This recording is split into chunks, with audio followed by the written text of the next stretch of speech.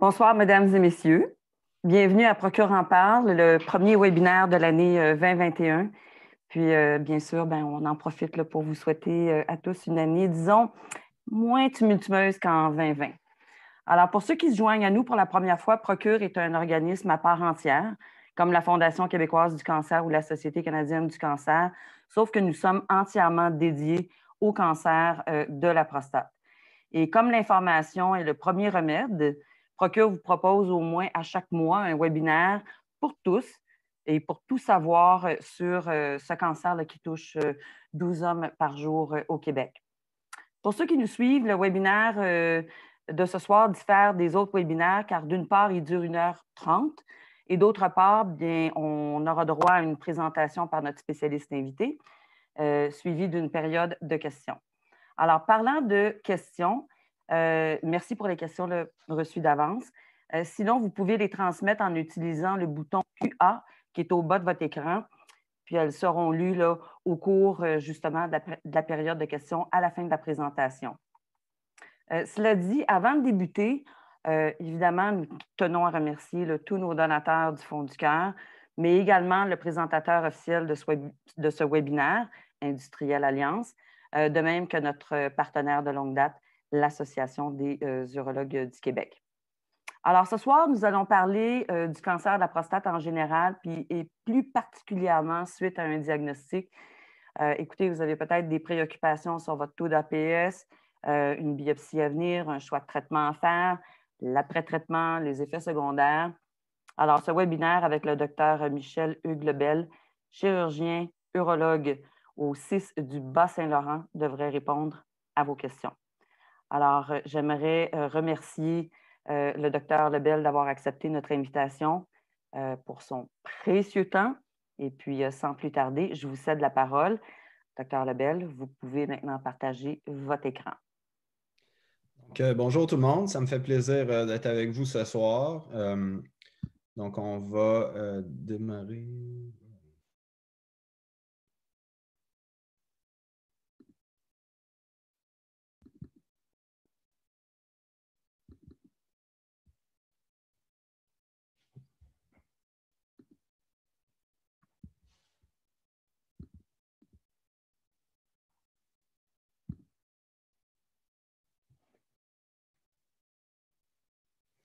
Donc, euh, pour ce soir, un aperçu de la présentation. Donc, on va euh, apprendre à connaître les étapes euh, nécessaires au diagnostic du cancer de la prostate. On va discuter brièvement, puis on pourra discuter plus en détail dans la période de questions des outils afin d'établir le diagnostic. On va chercher à comprendre les différences entre les différents traitements offerts au Québec, soit les traitements chirurgicaux et ceux par radiothérapie ou curithérapie. On va discuter également de la possibilité de faire une observation active et on va euh, prendre le temps qu'il faut pour euh, répondre à vos questions euh, en fin de présentation. Donc, rapidement, la prostate, c'est une glande sexuelle qui est située en profondeur dans le bassin, entre la vessie et le plancher pelvien, devant le rectum, derrière le pubis. C'est formé de deux lobes principaux. Souvent, il y a un troisième lobe qu'on appelle le lobe médian. La glande entoure l'urètre. Euh, elle est de texture lisse et caoutchouteuse normalement au toucher, mais bon, peut devenir indurée, asymétrique, nodulaire dans des, cas de cancer. Elle est environ de la taille d'une balle de ping-pong chez les hommes de bas âge, mais augmente de volume avec le temps euh, et peut devenir assez, assez volumineuse selon les hommes. La prostate est faite de différentes zones histologiques. Euh, donc, c'est la zone qui est la zone autour de l'urètre qui va euh, chercher euh, à, augmenter de taille. C'est cette zone-là qui donne des problèmes de symptômes du bas appareil urinaire chez les hommes qui augmentent en âge. 75% des cancers se situent plus dans la zone périphérique. La majorité des cancers ne donneront pas de symptômes du bas appareil urinaire. La zone périphérique est, la zone la plus proche euh, du rectum, donc plus facile euh, d'accès euh, pour être examiné lors d'un examen rectal. C'est pour cette raison-là qu'on conseille, en plus de faire l'APS, d'avoir un examen rectal lors du suivi de dépistage. La prostate, dans le fond, joue un rôle au niveau de la fertilité. Elle produit environ 20% du liquide éjaculé. Par contre, si on cumule les glandes qui sont au pourtour de la prostate, ça fait une grande partie du volume de l'éjaculat. C'est une glande qui euh, vise à équilibrer euh, le liquide pour euh, nourrir et protéger les spermatozoïdes. c'est une glande qui fabrique une protéine qui s'appelle l'APS, l'antigène prostatique spécifique, et qui aide le sperme à demeurer sous forme liquide. la glande participe aussi à l'éjaculation en se contractant. La glande ne participe pas au mécanisme des érections. En fait, les érections euh, sont médiées par des petits nerfs euh, dans des, plexus nerveux qui sont intimement accolés à la prostate, mais qui ne sont pas, qui font pas partie de la prostate comme telle. Euh, puis la prostate, jusqu'à un certain point, sert dans un mécanisme de continence urinaire.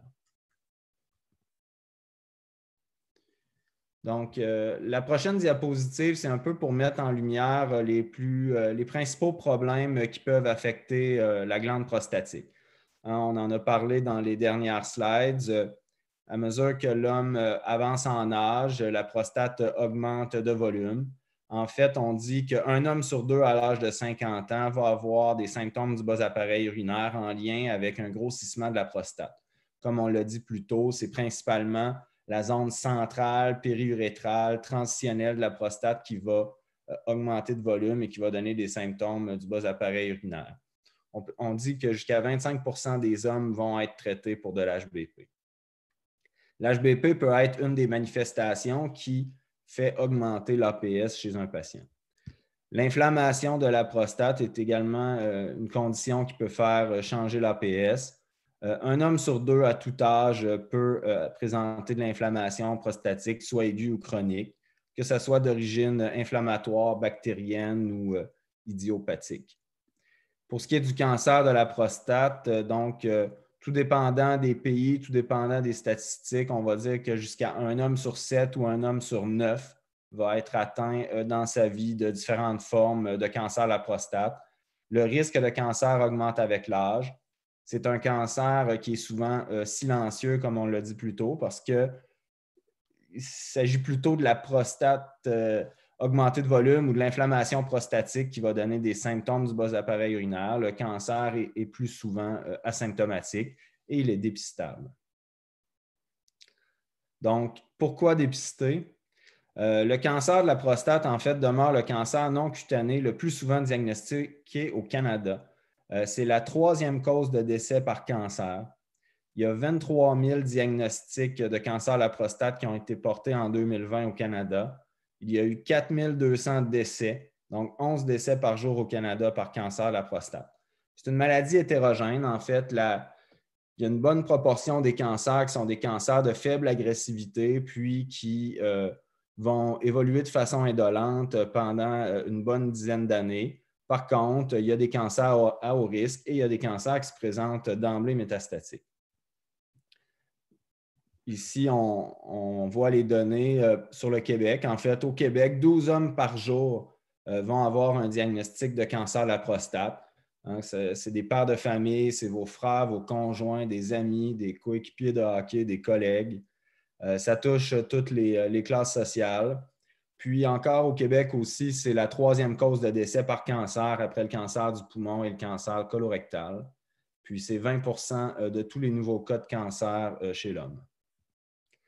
Euh, les indications de dépistage, on va y aller rapidement ce soir pour vraiment se concentrer sur les traitements post-diagnostiques.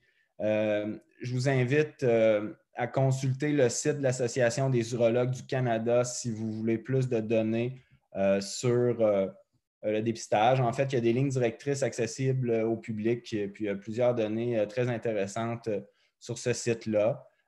plusieurs Québécois impliqués également dans la rédaction de ces lignes directrices, entre autres Dr Saad Duchum. donc, les lignes directrices sur le dépistage ont été publiées en 2017.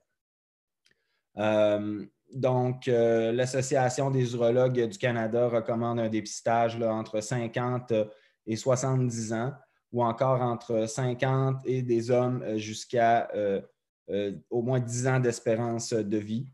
le dépistage peut être débuté plus tôt là, chez, chez certains hommes ayant des, caractéristiques à risque. On va y revenir. Le dépistage doit être discuté avec, entre le médecin et le patient. il faut que le dépistage change un peu notre, notre conduite, dans le sens qu'il faut que, que, le patient comprenne qu'est-ce que ça va amener éventuellement un, test d'APS élevé puis qu'ils soient prêts à, s'embarquer dans, ce processus-là. Euh, on recommande de ne pas faire de dépistage chez les hommes dont l'espérance de vie euh, ne dépasse pas 10 ans. De façon statistique, un homme en bonne santé de 70 ans a encore 10 ans d'espérance de vie au Canada. Euh, donc, euh, c'est ça. L'Association des urologues du Canada recommande de débuter à 50 ans chez la plupart des hommes et à 45 ans chez les patients d'origine afro-américaine ou chez les patients ayant des antécédents familiaux euh, de cancer de la prostate ou même plus tôt que ça chez des patients ayant des prédispositions génétiques comme ayant une mutation des gènes BRCA1, BRCA2. Donc, euh, quand vous avez une histoire familiale, votre risque est plus élevé. En fait, si votre père, euh, votre frère ou votre fils a été atteint d'un cancer de la prostate, votre risque est augmenté de 3. Votre risque va être augmenté de 5 avec deux parents atteints. Euh, c'est également important de, connaître ses antécédents familiales au niveau du cancer du sein. Comme je vous le disais plus tôt, les mutations des gènes BRCA1, BRCA2 font qu'il y a des familles qui sont plus à risque à la fois de cancer du sein et de cancer de la prostate, par exemple. Euh, l'origine ethnique, donc euh, les hommes d'origine antillaise ou afro-américaine sont euh, deux fois plus à risque d'un cancer de prostate et sont plus de deux fois plus à risque qu'un homme asiatique. Donc, les gens d'origine asiatique étant moins à risque que les hommes caucasiens. Euh, c'est des cancers qui ont tendance à apparaître à un plus jeune âge et à être plus agressifs. Par contre, le taux de, guérison euh, reste comparable et euh, élevé. Donc, il y a eu quand même beaucoup de discussions, beaucoup de débats quant à l'indication, à l'importance et aux bénéfices de faire un dépistage en cancer de prostate. entre autres, ce débat-là a parti suite à une étude de euh, nord-américaine, PLCO, qui avait démontré qu'il n'y avait pas de bénéfice euh, à faire le dépistage cancer à la prostate. Par contre, cette étude-là a été faite alors que la moitié euh, des patients étaient mis dans un groupe contrôle, un groupe témoin, puis l'autre moitié des patients étaient dépistés avec l'APS. Mais on s'est rendu compte avec une analyse plus approfondie que 80 des patients qui devaient ne pas être dépistés avaient eu des APS, soit dans le privé ou dans d'autres circonstances. Donc, on comparait un, groupe de patients dépistés versus un groupe de patients dépistés à 80% Donc, c'était très difficile d'avoir une différence euh, statistiquement significative. Ce qu'il faut comprendre également aux États-Unis, c'est que c'est un, système privé, un système avec une médecine quand même défensive. Donc, euh, même les cancers de faible agressivité sont souvent traités et surtraités. Donc, ça amène euh, une difficulté à trouver des, euh, différences significatives euh, dans ce genre d'études-là. L'étude européenne ERSPC avait démontré peu de bénéfices de réduction de mortalité au dépistage de cancer de la prostate. Par contre, avec les mises à jour de ces études-là, avec un plus long suivi, on a démontré un bénéfice chez les hommes jeunes. Et il y a une étude de Göteborg Swedish Trials. C'est une, étude quand même bien faite en Suède qui a montré un long euh, suivi et qui a démontré un bénéfice euh, marqué de mortalité, de baisse de mortalité chez euh, les patients dépistés. Mais ce bénéfice-là est encore plus marqué chez les hommes jeunes. Donc, comment on diagnostique le cancer de la prostate? En fait, euh, on recommande justement l'APS et un examen euh, prostatique. S'il y a une anomalie euh, de la valeur absolue de l'APS ou du comportement de l'APS dans le temps, s'il y a une anomalie au toucher prostatique, à ce moment-là, on y va de l'avant avec une biopsie. donc, la biopsie permet de déterminer s'il y a un cancer et le degré d'agressivité du cancer, on va y revenir plus tard. Donc, le, grade du cancer, le sous-type de cancer, la quantité de cancer, etc. Euh, au Canada, actuellement, on ne recommande pas nécessairement de faire un IRM multiparamétrique de la prostate avant de faire la biopsie. Euh, par contre, il y a d'autres euh, associations sérieuses dans le monde qui se sont positionnées en faveur de faire un IRM d'abord, entre autres l'Association européenne d'urologie. L'IRM peut être très utile, on va y revenir plus tard. Euh, faire une biopsie, ça ne signifie pas nécessairement qu'un homme va être traité s'il est atteint d'un cancer de la prostate. Donc, euh, la procédure, euh, il y a deux types principaux de biopsies faites au Québec, mais la très grande majorité des patients ont une biopsie transrectale. Donc, c'est une biopsie qui se fait sous antibioprophylaxie, donc sous couverture antibiotique il y a euh, possibilité de faire un lavement euh, également, c'est optionnel. Euh, on recommande une analgésie locale. c'est une sonde intrarectale et on fait des prélèvements du parenchyme prostatique à l'aide d'un fusil qui propulse une aiguille et qui prend une carotte, là, guillemets, et on en prend plusieurs. En fait, le patron standard euh, qui donne euh, un meilleur ratio entre le nombre de biopsies puis les, résultats qu'on cherche à obtenir, c'est environ 12 à 13 euh, biopsies. Donc, ici, c'est un tableau qui résume un peu les avantages, les inconvénients des deux grands types de biopsies possibles. En fait, comme je disais, au Québec, je n'ai pas les données exactes, mais je pourrais m'avancer à dire que 99% et plus des biopsies sont faites par approche transrectale. Donc, les avantages de cette approche-là, c'est que c'est plus rapide, c'est peu douloureux avec une analgésie locale. Euh, c'est les urologues qui la pratiquent et dans quelques centres, les radiologistes ben, sont habitués à, cette technique-là. Par contre, les inconvénients, c'est qu'il y a un risque d'infection urinaire hein, parce que veut pas l'aiguille passe au travers la muqueuse rectale. Euh, on donne une couverture antibiotique au fluoroquinolone, mais dans les régions où il y a plus de résistance au, fluoroquinolone, on s'expose quand même à, un risque d'infection qui est d'environ 1% euh, dans notre centre, en tout cas.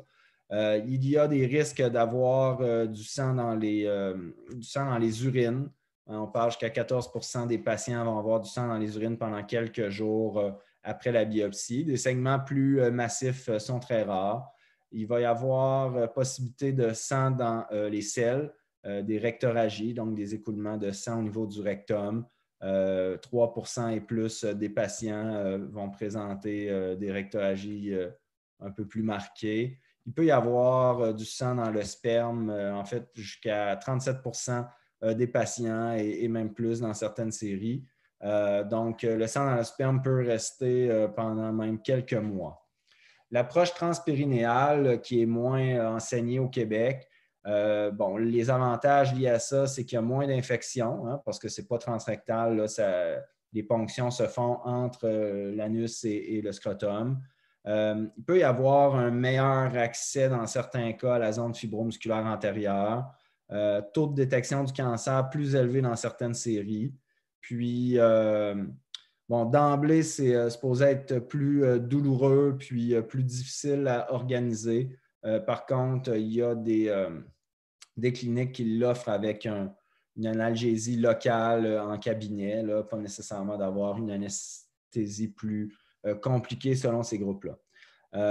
encore une fois, les patients sont à risque d'hématurie, d'hématospermie et de rectoragie. Donc, à partir du moment où on établit un diagnostic, bon, le, médecin pathologiste qui va regarder euh, les lames va établir un, grade. Donc, c'est le degré d'agressivité. Souvent, je dis à mes patients, c'est un peu le, degré de monstruosité, comparativement au stade où le stade va plus avec la, taille puis l'envahissement euh, euh, des tissus avoisinants. Donc, un cancer peut être petit et très monstrueux là, si son grade est élevé. Donc, euh, historiquement, on a utilisé euh, surtout euh, le score de Gleason. depuis un certain nombre d'années, on ne quantifiait pas les scores de Gleason de, 5 et moins. donc, Puis, dans les dernières années, euh, on tend à utiliser le groupe grade histologique, donc euh, euh, le grade ISUP, qui lui est, gradé sur 5, qui est peut-être plus facile à comprendre. Donc, un Gleason 6 sur 10 va être équivalent à un groupe grade histologique 1 sur 5, puis c'est un bas risque de progression.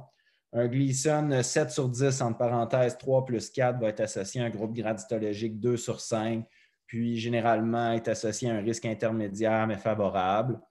Un, groupe, euh, un grade de Gleason 7 sur 10, mais entre parenthèses 4 plus 3 va être associé à un groupe grade histologique 3 sur 5, puis c'est un risque intermédiaire défavorable.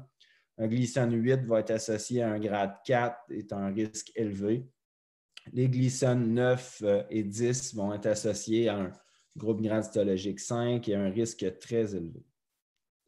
Quand on parle de risque élevé, on parle de risque de progression, risque de métastase.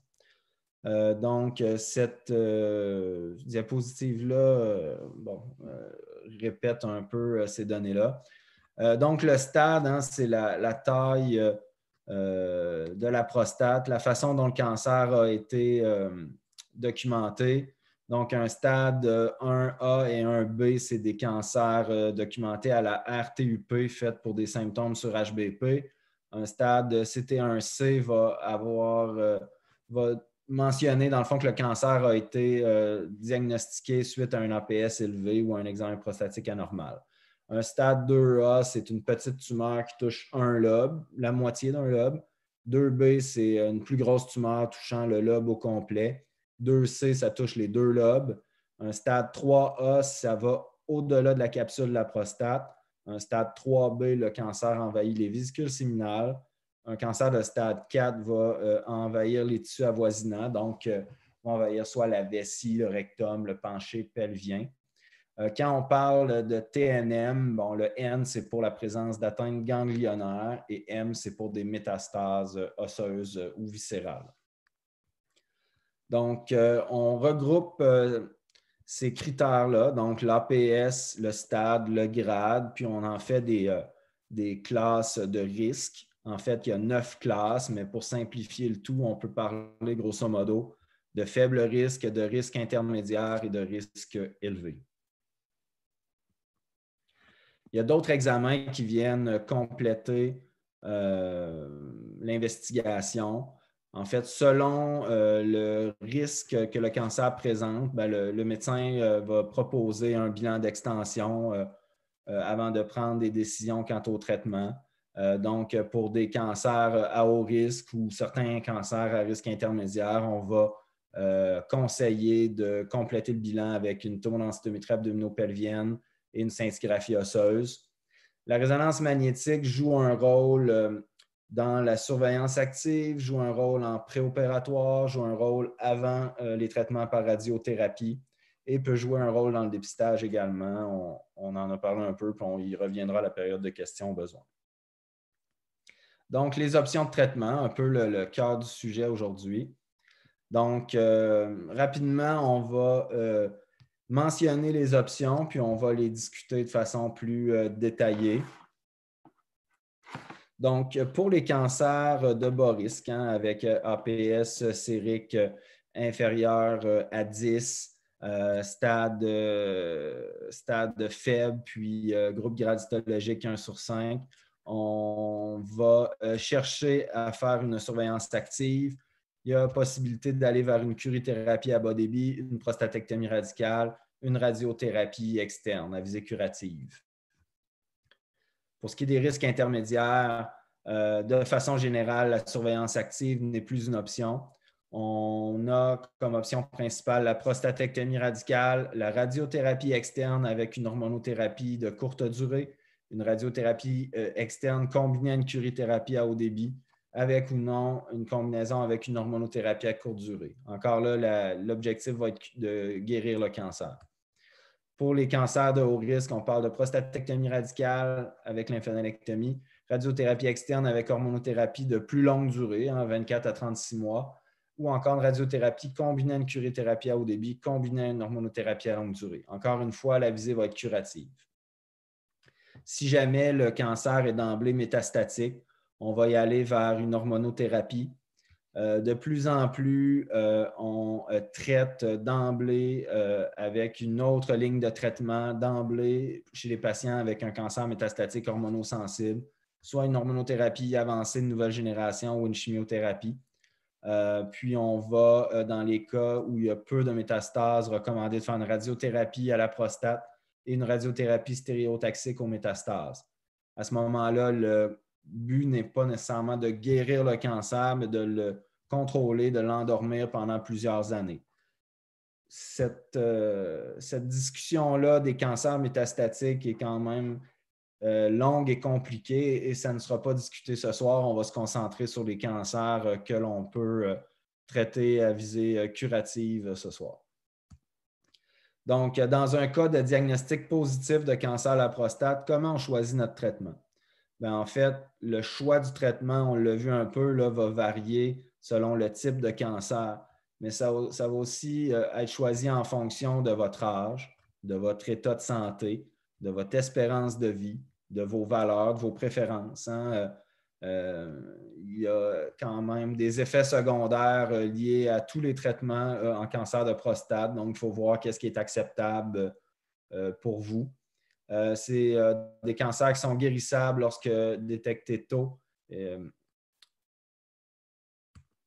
Donc, la surveillance active, donc cette option consiste à surveiller de façon étroite l'évolution du cancer c'est recommandé pour des petits cancers de faible risque. Euh, c'est recommandé aussi pour des patients qui ont des cancers un petit peu plus agressifs, mais qui ont des comorbidités importantes, chez des patients qui auraient une espérance de vie inférieure à 10 ans. À ce moment-là, il ne faut pas confondre. Par exemple, on va plutôt parler de, watchful waiting en anglais qu'on appelle. Les, euh, les avantages de ce traitement-là vont être de retarder les traitements. Donc, quand on choisit une surveillance active, il faut être prêt à, avoir des APS fréquents, des euh, touchés prostatiques fréquents. Il euh, faut avoir des contrôles d'IRM et de biopsie prostatique idéalement. Puis, normalement, ben, on, change de stratégie vers un traitement si jamais les caractéristiques du cancer deviennent plus euh, inquiétantes, soit une augmentation du grade, une augmentation du stade ou encore un APS sérique qui augmente rapidement. Mais d'ici à ce que euh, le cancer évolue euh, dans une forme plus agressive, ben, on évite les effets secondaires des traitements. Euh, donc, on préserve notre continence, on préserve notre sexualité, on maintient notre qualité de vie. Puis surtout, on évite les surtraitements. Parce qu'il y a quand même une portion des cancers de faible risque qui évolueront jamais vers un cancer cliniquement significatif. donc, des suivis réguliers aux 3 à 6 mois, il faudra répéter les biopsies éventuellement. Euh, L'IRM fait selon un protocole euh, multiparamétrique va nous aider à, documenter s'il y a un, risque de cancer cliniquement significatif, quitte à aller faire des biopsies ciblées en plus des biopsies randomisées dans le suivi. il y a un faible risque de progression plus rapide que prévu, mais avec un suivi sérieux, euh, c'est très rare qu'on échappe euh, des euh, cancers dans cette catégorie-là. En fait, à 10 ans, le, taux de, décès est, de 1 à, 2% dans cette catégorie-là, ce qui est comparable aux autres options de traitement. Donc, quand le suivi est fait de façon rigoureuse, c'est sécuritaire. Par contre, il y a des patients qui vont vivre beaucoup d'anxiété avec cette stratégie-là, puis si on se rend compte qu'un patient en dort plus et qu'il est trop stressé, ben, ça veut dire que cette stratégie-là n'est pas pour lui. Donc, on va parler de la chirurgie euh, qui consiste à enlever complètement la prostate, les vésicules séminales. Euh, donc, euh, il y a trois grandes options de traitement. soit une chirurgie conventionnelle ouverte, qui est généralement faite par une incision médiane basse entre le nombril et le pubis. C'est une chirurgie qui peut être faite par laparoscopie.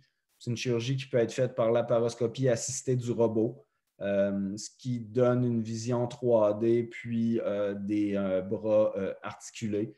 c'est plus ergonomique pour le chirurgien. donc, les avantages de l'opération sont que ça nous permet d'enlever la prostate et les vésicules séminales et de les analyser. Donc, on sait avec précision quelles sont les caractéristiques du cancer, le stade, le grade, hein, parce qu'il y a jusqu'à un tiers des cancers qui, finalement, au spécimen de la prostatectomie, sont plus agressifs qu'on le, présumait basé sur les biopsies. C'est un suivi, ça facilite le suivi. Donc, euh, après une chirurgie, l'APS devrait descendre à zéro si la prostate a été enlevée au complet et qu'il n'y a pas de récidive, qu'il n'y a pas de métastase. Euh, puis, euh, si jamais il y a une récidive près de la chirurgie, bien, on a une carte dans notre manche. Hein. on a l'option d'aller avec une radiothérapie, soit une radiothérapie adjuvante ou une radiothérapie de rattrapage. La chirurgie nous euh, permet aussi d'aller vers une euh, lymphadénectomie dans les cas euh, de cancer à haut risque et de risque intermédiaire plus à risque. Les résultats oncologiques de la chirurgie sont très bons. Ici, je mentionne quelques séries, là, mais exemple, la série suédoise de Bill Axelson avec un suivi de 23 ans, la survie par cancer euh, euh, de prostate euh, chez les risques bas et intermédiaires est de plus de 80% Donc, la série de l'étude Pivot, une survie de, de, plus de 90% à 20 ans chez des risques bas et intermédiaires. Et AMD, ça, ça a été publié dans le New England Journal of Medicine, le groupe Protect, euh, taux de survie de 99% euh, à 10 ans. Les inconvénients liés à la chirurgie, donc il peut y avoir, euh, en fait, il va y avoir de l'incontinence dans les premiers mois. 90% des hommes, par contre, apprennent à bien se servir de leur musculature accessoire et de leur sphincter strié externe. Et 90% à un an vont être devenus continents. Euh, si jamais euh, l'incontinence persiste, ben, il y a possibilité euh, d'aller vers des chirurgies correctrices, soit des bandelettes masculines ou encore des sphincters urinaires artificiels. Il y a d'autres méthodes alternatives, les pads de protection, les condoms de type Texas, les pinces péniennes. les inconvénients liés à la chirurgie, à la dysfonction érectile aussi en fait, euh, l'érection euh, va euh, revenir progressivement dans les mois suivant la chirurgie. Le plus tôt les érections reviennent, le mieux c'est. tout dépendant des séries, là, on va parler de dysfonction érectile dans 40 à 50 des hommes. il y a différentes mesures qu'on peut prendre pour aider l'homme à retrouver ses érections, entre autres des traitements oraux comme euh, le Viagra, le Cialis, le Levitra. Il y a des euh, suppositoires intra-urétrales qu'on peut utiliser, des suppositoires de prostaglandine, donc il y a Muse, entre autres. Euh, il y a des injections dans le pénis qu'on peut faire. Le patient apprend avec son neurologue à se faire lui-même ces injections-là, soit de Caverject ou de Trimix. il y a possibilité d'installer des prothèses péniennes il y a possibilité d'utiliser des pompes à pression négative ou des anneaux de plaisir. Donc, euh, les autres inconvénients de la chirurgie, donc c'est quand même une chirurgie qui est invasive, qui est faite sous anesthésie générale. C'est une chirurgie qui va durer de deux à trois heures généralement. Euh, les patients hospitalisés quelques jours. L'hospitalisation est moins longue dans des cas euh, faits par la paroscopie ou, au robot euh, part d'une sonde pour quelques jours parce qu'en fait, il faut euh, procéder à une anastomose entre la vessie et l'urètre. Donc, euh, on attend euh, que l'anastomose guérisse. Il y a aussi des plaies au niveau cutané puis des, aponevroses qui sont à guérir. Donc, une convalescence de quelques semaines à quelques mois. Bon, comme toute chirurgie, il y a des risques de complications, soit des incidents thromboemboliques, des infections, euh, des euh, hémorragies nécessitant des transfusions, c'est plutôt rare. Ici, c'est euh, des graphiques un peu pour vous expliquer ce que je disais. Donc, à gauche, on voit un peu un modèle pour mieux comprendre, là, mais la prostate est, en blanc au centre, puis le, disque vert étant ce qui représente un peu le sphincter, le sphincter intrinsèque. Euh, l'espèce de ballon en haut, c'est la vessie. Puis euh, l'espèce d'accordéon de, euh, brunâtre étant le, sphincter strié externe. le tube en jaune étant l'urètre où passe l'urine. Donc, on, vient couper entre la vessie et la prostate, puis le sphincter en vert, qui est le sphincter intrinsèque, il est brisé, il est coupé pour faire cette chirurgie-là. Donc, ça, c'était le sphincter qui fonctionne un peu tout seul sans qu'on y pense. Donc, après une chirurgie comme ça, le sphincter qui fonctionnait seul est coupé. Donc, on, reste un peu dépendant du sphincter externe, celui qui est en bas de la prostate. Puis lui est sous le contrôle volontaire, un peu comme, euh, comme le biceps. Donc, il faut l'ordonner, lui, donner la commande de, se contracter pour, euh, pour être continent. Un peu l'exemple que, je donne à mes patients dans, mon bureau, c'est que, euh, ceux qui ont déjà essayé d'arrêter d'uriner pendant qu'ils urinaient, ben, c'est un muscle qu'on peut aller fermer là, pour, euh, pour être continent. Donc, euh, dans les mois après une chirurgie comme ça, il faut, faut être vaillant, il faut faire des exercices de Kegel, renforcer sa musculature du plancher pelvien, puis son, son muscle sphincter extrinsèque. Puis, euh, avec les mois qui passent, la majorité des patients apprennent à, bien faire fonctionner ce muscle-là. Euh, si jamais il reste des problèmes d'incontinence, ben, comme je le mentionnais tantôt, il y a des, euh, options de traitement ou d'accompagnement. Excusez-moi. Donc, pour ce qui est de la préservation vasculo-nerveuse, donc ici, c'est un schéma qui montre que les bandelettes neurovasculaires sont euh, accolé à la prostate de chaque côté. Euh, puis, euh, donc, il pourra y avoir décision avant l'intervention avec votre chirurgien à savoir si les bandelettes vont être sauvées ou pas. Il existe toutes sortes de nomogrammes qui peuvent être utilisés selon votre APS, votre grade, votre stade, la quantité de cancer qu'il y a dans les biopsies. Euh, différents nomogrammes. Moi, j'utilise celui du Sloan Memorial Kettering à New York, mais il y en a plusieurs. Puis ça, ça va évaluer le risque que le cancer soit sorti de la prostate. Donc, ça peut permettre d'aider votre chirurgien à décider s'il va faire une préservation des bandelettes vasculo-nerveuses ou pas. Puis, euh, d'avoir préservé ces bandelettes-là peut faire une, bonne différence entre revoir ses érections après l'intervention et non. Par contre, dans certains cas, ben, ça se fait au. C'est un, jeu de compromis entre essayer d'avoir une marche chirurgicale euh, négative. dans, certains cas, il faut passer plus large, puis il va y avoir euh, possiblement moins bonne préservation des bandelettes vasculo-nerveuses. Donc, souvent, la question qui m'est posée, qu'est-ce qui est le meilleur? Est-ce que c'est une chirurgie conventionnelle, une chirurgie au robot? En fait, ça va beaucoup euh, dépendent du chirurgien, de son expérience, de sa technique, euh, de ses habiletés, euh, de sa courbe d'apprentissage. Donc, c'est difficile de se positionner le robot versus ouvert.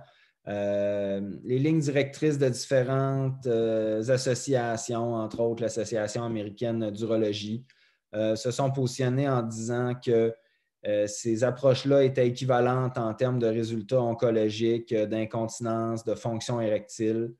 Euh, les approches par la paroscopie ou par la paroscopie assistée du robot offrent de façon documentée un séjour hospitalier réduit, une convalescence un peu plus courte, des pertes sanguines réduites, un risque de transfusion réduit. Euh, ici, euh, on peut passer rapidement, là, mais le taux de marge positive, selon les séries, peut varier, euh, de même que les différentes risques de complications. Ce qu'il faut comprendre, c'est que ça peut être très dépendant du chirurgien. Ça peut être dépendant également si c'est un résident ou un fellow qui fait l'intervention ou un patron. Donc, il y a plusieurs facteurs de variabilité. Pour ce qui est de l'indication de la lymphadenectomie, hein, c'est euh, surtout pour les hauts risques, euh, risques intermédiaires euh, avec plus de risques. omettre la lymphadenectomie pour les cancers à faible risque. Donc, on recommande une lymphadenectomie étendue, donc des territoires iliaques externes, obturateurs, iliaques internes.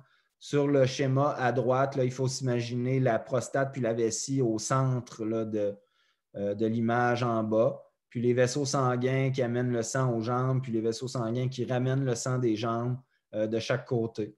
Donc, il faut tasser la vessie d'un côté pour enlever les ganglions dans cet espace-là, puis tasser la vessie de l'autre côté pour enlever ces ganglions-là. c'est généralement des clips métalliques qui sont mis sur les lymphatiques euh, pour ne pas créer de lymphocèles. Des lymphocèles, c'est comme des accumulations de liquide dans cet espace-là. Il faut faire attention pour ne pas briser les vaisseaux sanguins. Et il y a le nerf obturateur euh, qui passe euh, juste là en jaune, qui est responsable de l'adduction de la jambe, donc de, ramener sa jambe vers l'intérieur. Pour ce qui est de la radiothérapie externe, c'est une option qui consiste à détruire le cancer à l'aide de rayons émis par un accélérateur, des photons. Euh, donc, il y a une planification, un moulage, il y a euh, un scanner ou un IRM de planification, il y a un marquage. Il peut y avoir marquage avec euh, certaines, entre autres des grains d'or. C'est un traitement journalier, en fait, de quelques minutes par traitement, généralement cinq traitements par semaine pour 36 à 40 euh, séances. Euh, de plus en plus, on y va vers des, euh, traitements hypofractionnés. Donc, moins de traitements, un petit peu plus de doses par traitement. Ça permet de poursuivre vos activités quotidiennes. Vous n'êtes pas radioactif, vous n'êtes pas dangereux pour votre entourage avec une radiothérapie externe. Donc, les avantages de la radiothérapie, c'est qu'il n'y a pas de plaie, il y a moins de dommages aux nerfs érectiles, c'est indolore environ 5, traitements par, minutes par traitement. Il n'y a pas d'hospitalisation, pas d'anesthésie, contrairement à la chirurgie ou la curithérapie. Euh, permet de poursuivre vos activités quotidiennes. Par contre, c'est de multiples déplacements. Euh, puis, bon, il va avoir des informations qu'on n'aura pas de façon précise, dans le sens que on va se baser sur un stade clinique, et, mais on n'aura pas l'analyse pathologique de la prostate euh, comme avec une chirurgie. Donc, le, stade va être basé sur euh, le rectal et l'imagerie, entre autres l'IRM. Euh, donc, si jamais ça récidive après une radiothérapie, ben c'est très rare qu'on va aller faire une prostatectomie de rattrapage parce que les prostatectomies de rattrapage sont très difficiles à faire et offrent des, taux de complications élevés. Donc, généralement, s'il y a une récidive à distance, on va y aller avec une hormonothérapie. Puis, s'il y a une récidive locale, ben, de plus en plus, on y va, on tente de faire des curithérapies euh, de rattrapage. Euh, le CHUM a une bonne expérience avec ça. Euh, donc, la curithérapie, c'est une option qui consiste à détruire les tumeurs de l'intérieur. Donc, il y a deux formes de curithérapie principalement au Québec, la curithérapie à bas débit, la curithérapie à haut débit. Donc, pour ce qui est de la curithérapie à bas débit, c'est une curithérapie qui est permanente. C'est des implants qu'on met dans la prostate, dans la tumeur. Ça libère en continuité pendant plusieurs mois une faible dose de radiation. Euh, donc, euh, il y a des précautions à prendre pour euh, les enfants, les femmes enceintes euh, lors des voyages à l'aéroport avec euh, ces implants-là. donc, il y a aussi la curithérapie à haut débit. Donc, c'est une curithérapie entre guillemets temporaire. Là. Donc, c'est qu'on va aller implanter des cathéters, puis on va livrer une forte dose de radiation, puis ensuite, on va enlever les cathéters. C'est utilisé généralement en combinaison avec une radiothérapie externe afin de réduire les risques de complications de la radiothérapie externe. En fait, ça réduit les risques de cystite et de rectite radique. Hein. Ça réduit les risques de brûlure au rectum puis à la vessie, tout en administrant une, dose équivalente euh, en termes euh, afin de, combattre le cancer. Euh, donc, typiquement, c'est une curithérapie et 15 à 23 séances de radiothérapie externe ensuite. Euh, puis, euh, on étudie actuellement aussi la curithérapie à haut débit seul. Euh, pour pouvoir envisager une curithérapie, il faut que la prostate ne soit pas trop volumineuse. Souvent, on va parler de 50 grammes. Il y a des médecins qui donnent de l'hormonothérapie ou d'autres médications pour faire réduire le volume de la prostate pour pouvoir ensuite aller en curithérapie moins de difficultés euh, urinaires avec euh, puis euh, il faut que le patient soit éligible à une anesthésie. En fait, des patients qui ont des. On va déconseiller aux patients qui ont des forts symptômes urinaires sur HBP d'y aller avec la curithérapie. les avantages de la curithérapie à bas débit, donc c'est une seule séance, moins de dommages secondaires. En fait, c'est une l'approche qui a le moins d'effets secondaires dans tout ce qu'on a discuté comme traitement actif. par contre, peut-être moins d'efficacité pour des cancers plus agressifs. Euh, c'est une récupération qui est plus rapide que la chirurgie, qui euh, permet de poursuivre les activités quotidiennes une fois guéri. Donc, il y a rarement de l'incontinence urinaire. La dysfonction rectile est d'environ 20% euh, selon moi avec cette option-là. Il y a des douleurs pelviennes pendant plusieurs mois pour peut-être environ 15-20% des patients qui vont en curithérapie à bas débit, mais c'est généralement bien toléré. Taux de dysfonction rectile plus faible que les autres options de traitement les avantages de la curithérapie à haut débit, donc encore une fois une seule séance, moins de dommages au tissu avoisinant, avoisinant pardon. Euh, donc permet de livrer une plus forte dose de radiation. Euh, ça peut faire que le traitement globalement est moins long. Hein. au lieu d'avoir 38 traitements de radiothérapie, ben, si on en a 15-20 plus une curithérapie. Euh, rarement de l'incontinence, moins de cystite et de rectite radique qu'avec une radiothérapie externe seule.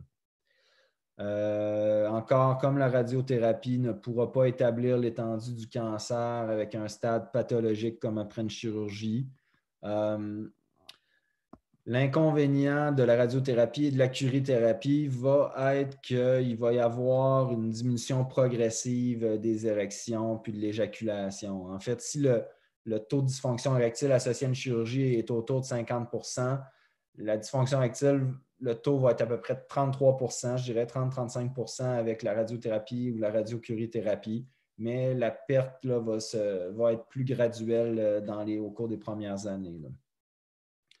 Les risques à court terme, euh, donc inflammation de la prostate, des risques de saignement ou d'infection, puis des problèmes urinaires.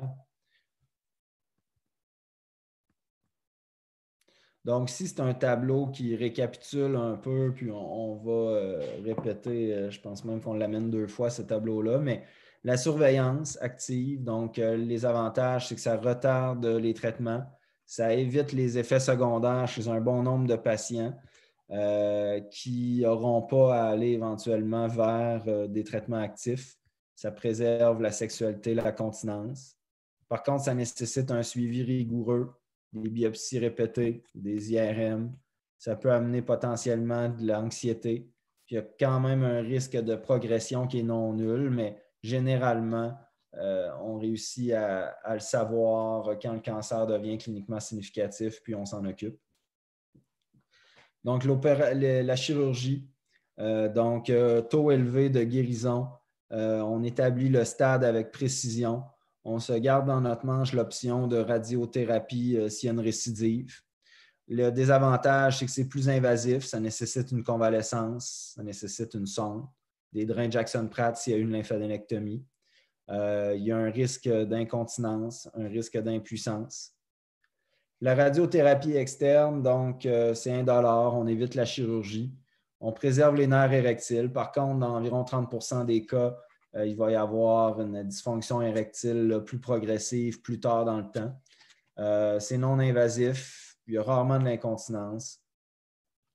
Euh, on n'a pas accès au stade précis de la maladie. Puis il y a des effets secondaires gastro-intestinaux possibles avec la radiothérapie externe, dont des rectites radiques, qui peuvent être traités soit avec des lavements, de la médication ou même avec aller brûler ce qui saigne avec un laser à l'argon la curithérapie à bas débit, donc euh, moins de dommages au tissu sain, nerfs érectiles préservés. Il y a quand même la dysfonction érectile dans près de 20% des cas.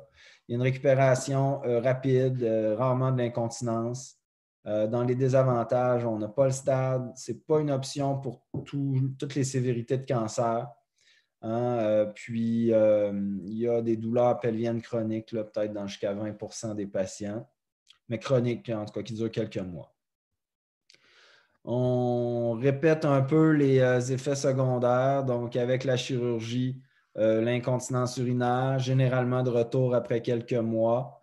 Euh, c'est sûr qu'à long terme, la majorité des hommes vont avoir encore des petites fuites dans, à certains efforts, là, mais généralement, la grande majorité contrôle bien, puis l'incontinence totale, c'est rare et on peut s'en occuper. la dysfonction érectile, on, espère un retour de la fonction érectile avant 12 mois.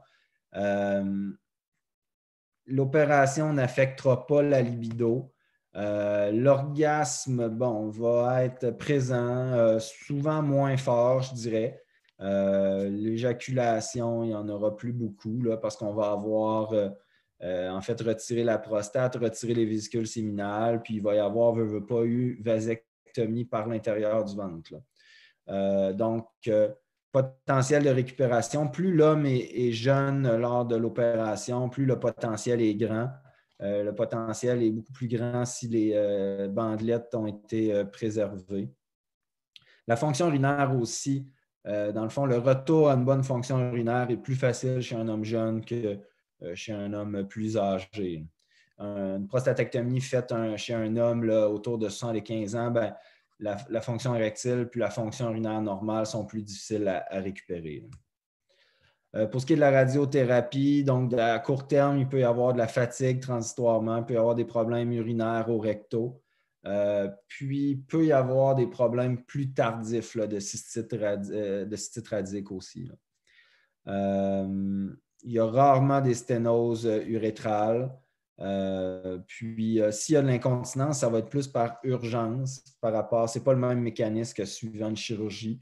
Puis à ce moment-là, ça va être plus euh, contrôlable avec des médicaments. la dysfonction érectile après une radiothérapie va être plus graduelle, peut s'installer graduellement sur plusieurs années. ça n'affecte pas la libido ou l'orgasme. Puis, ben, ça dépend aussi si la radiothérapie aura ou non été associée à une hormonothérapie. Pour ce qui est de la fonction gastro-intestinale, euh, il peut y avoir euh, du ténesme puis des saignements chroniques. C'est plus rare.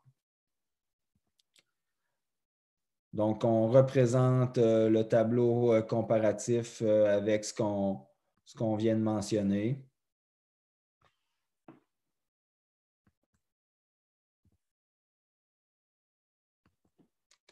Bon, pour ce qui est de l'après-traitement, Hein, on recommande un suivi rapproché, euh, tout dépendant euh, euh, du risque de la néoplasie. Bon, un contrôle aux 3 à 6 mois avec des visites avec votre urologue ou votre radio-oncologue aux 6 à 12 mois. on recommande un suivi probablement à vie, d'une certaine façon. c'est basé sur une relation humaine entre le médecin et son patient. ça va être une relation à long terme. Euh, puis, tout dépendant de l'option choisie et de la gravité du cancer, on pourra parler d'une récidive dans 10 à 15% euh, des patients.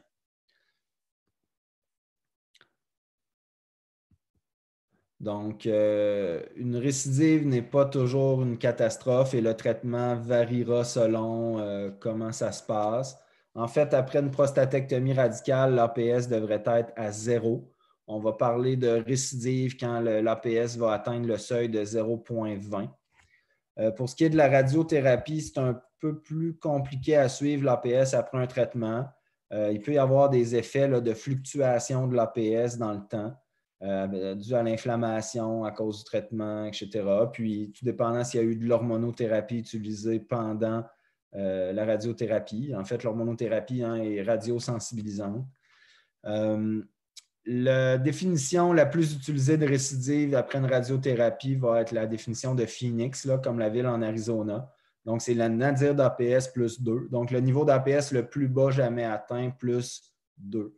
Donc, si le plus bas niveau d'APS atteint aura été 0,5, ben, on va parler de récidive biochimique à un seuil d'APS à 2,5. Donc, s'il y a une récidive, ben, il va y avoir des bilans de fait à savoir s'il y a des métastases, puis euh, souvent, on va regarder le temps que ça aura pris à ce que l'APS monte, puis euh, quel traitement aura été fait, ça orientera un peu euh, la suite des choses. Puis on pourra en discuter selon les questions que vous aurez dans la période de questions. je vais rapidement parler de l'hormonothérapie. Hein. comme je l'ai dit tantôt, c'est souvent utilisé en association avec la radiothérapie. Euh, l'hormonothérapie, en fait, c'est euh, des injections euh, sous forme soit d'agoniste de la LHRH ou d'antagoniste de la LHRH grosso modo, ça donne un message au cerveau, de donner un message aux testicules, d'arrêter de faire de la testostérone. Hein, le cancer de la prostate est un cancer hormonosensible qui, à quelque part, se nourrit de testostérone. Puis, euh, ce qu'on fait, c'est qu'on lui enlève sa nourriture. Hein, en faisant baisser le niveau de testostérone très bas, le cancer a, moins de, nourriture pour, euh, pour vivre, puis ça l'affecte. Par contre, le cancer, euh, jusqu'à un certain point aussi, a des mécanismes adaptatifs, puis a des mécanismes, je dirais, alternatifs. Euh, puis, euh, donc, éventuellement, ça peut ne pas suffire de donner de l'hormonothérapie dans certains cas de cancer réfractaire à la castration qu'on appelle. donc, les différents types d'hormonothérapie, j'en ai parlé un petit peu. Il y a les analogues de la LHRH, euh, plusieurs molécules connues là, dans, dans cette diapo-là. Euh, Lupron, Eligar, Zoladex, Trelstar. Il y a aussi les antagonistes de la LHRH. Le plus utilisé est le Degarelix, le Firmagon. Euh, il y a aussi un antagoniste oral qui s'en vient sur le marché bientôt. Donc, euh, les antagonistes de la LHRH, ça serait le. Euh, comment je dirais ça? Ils ont, longtemps cherché à, produire ces médicaments-là, mais euh, il y avait beaucoup d'anaphylaxie puis d'allergies liées à ces médicaments-là. Le Firmagon est le meilleur, en tout cas celui qui est sur le marché. Par contre, peut donner des réactions cutanées au site d'injection. Il faut qu'il soit utilisé adéquatement. Il y a aussi euh, des. Euh, je vais continuer avec les effets secondaires de l'hormonothérapie. Euh, donc, les types d'hormonothérapie sont efficaces pour traiter le cancer, peu importe où il se trouve. Hein. c'est un traitement systémique. ça rend la radiothérapie plus efficace. Ça peut, dans certains cas, retarder l'apparition de métastases puis ça aide à réduire euh, certains symptômes dans certains cas de cancer avancé. Pour ce qui est des effets métaboliques de l'hormonothérapie, hein, ça ne se fera pas euh, sans inconvénient. Euh, associé à une, hormonothérapie, il y a une prise de poids, une diminution de la masse et de la force musculaire. Il peut y avoir des débalancements métaboliques. Il y a des risques cardiovasculaires associés. Il peut y avoir perte de libido, dysfonction érectile, bouffée de chaleur, fatigue, changement de l'humeur, gain de poids, fonte musculaire, on en a parlé, euh, fragilisation euh, de la masse osseuse.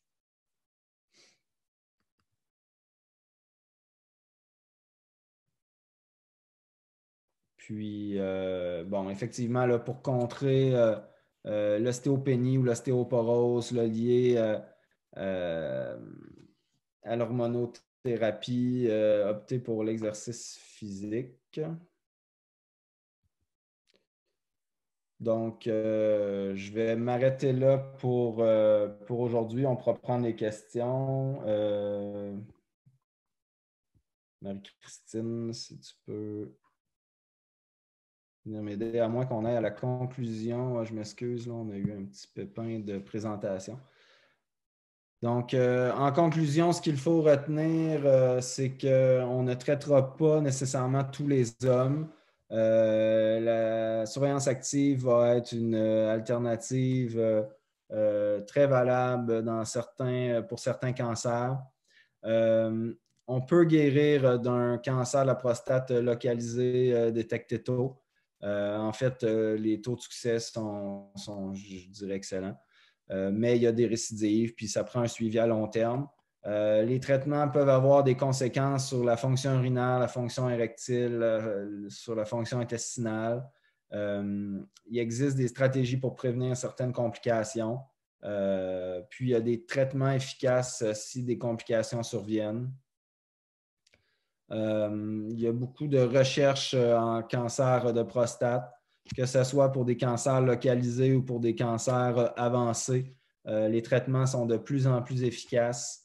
Euh, les traitements standards s'améliorent, il y a des nouveaux traitements, il y a des nouvelles, euh, même des nouvelles gammes de traitements pour les cancers avancés qui, euh, sont apparus sur le marché là, depuis une, dizaine d'années. C'est un, domaine en ébullition.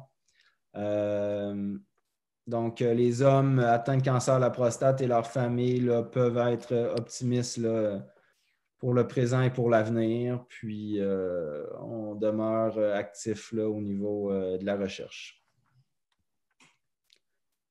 Donc, euh, parlez-en autour de vous, puis euh, je suis, euh, j'ai tout mon temps pour, les questions. on, prendra tout le temps que Marie-Christine nous donne. Je vous remercie. docteur Lebel, j'aimerais vous remercier pour votre présentation. La première des choses que j'aimerais dire, c'est, bon, il y a peut-être des diapos là, où vous ne voyez pas nécessairement tout le texte. ça, c'est vraiment une question de d'avoir la dernière version, exemple, des présentations PowerPoint. Euh, ça fait partie de la technologie. Cela dit, oui, on va la rendre euh, disponible. Euh, j'ai eu une question à ce niveau-là. Alors, on va la rendre disponible, donc vous pourrez voir les, diapos dans leur ensemble. juste rapidement, il y a des questions qui ont été posées concernant la PS. Ben, quand, dépendamment des régions, on va parler d'APS, qui est, une protéine spécifique aux, cellules aux cellules de prostatiques. Mais souvent, on va utiliser le terme PSA. Peut-être que vous êtes plus à l'aise avec le terme PSA, mais c'est toujours la même chose.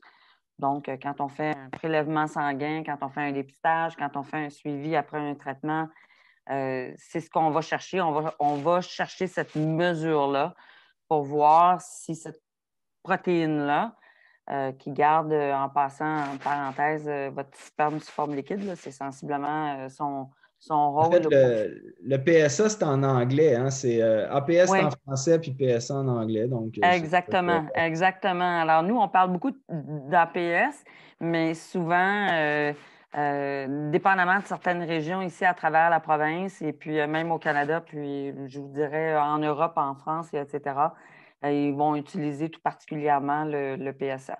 Mais c'est exactement la même chose. Puis quand on fait un dépistage ou un dosage après un traitement, c'est sensiblement la donnée qu'on va aller chercher. Euh, quand on a parlé de euh, euh lymphodectomie, là, je m'excuse si j'utilise peut-être pas le bon terme, ça, ça a vraiment à voir avec les ganglions. Alors souvent, quand on va avoir une chirurgie, euh, l'urologue va retirer les ganglions en même temps. Alors, c'était plus cet aspect-là. Euh, je sais que le nom était scientifique, mais on faisait plus référence à ça. on va débuter la période de questions. On a beaucoup de questions, mais savez-vous quoi? Je vais, je vais commencer par la première qui, qui, a été posée en ligne, docteur Lebel. Puis c'est dans le fond, ça a à voir avec le rapport de biopsie. On va faire un petit peu du coq à ici, là. Soyez pas étonnés. OK? Mais je vais ouvrir la période de questions avec cette question-là. Puis après ça, on va y aller de façon un peu plus euh, chronologique, si vous me le permettez.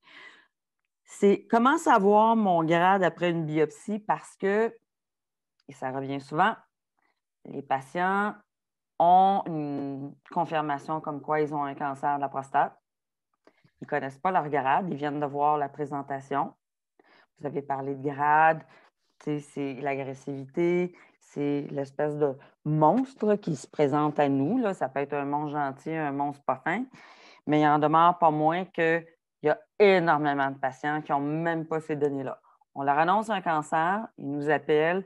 Première chose qu'on ne sait pas, c'est c'est quoi leur taux d'APS, c'est quoi leur grade, etc.